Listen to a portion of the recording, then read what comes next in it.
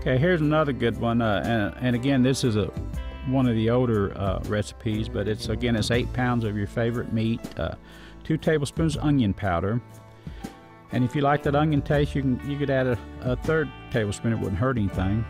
Two teaspoons curing salt, eight tablespoons regular table salt, four tablespoons black pepper, and, and use the coarse ground in this one, four tablespoons garlic powder, four teaspoons of paprika powder, four teaspoons liquid smoke, and again, liquid smoke, uh, it comes, you know, in two or three different flavors, whether it's hickory or mesquite. You get the one of your choice. Two cups of Worcestershire sauce, one cup of soy sauce, and two cups of water.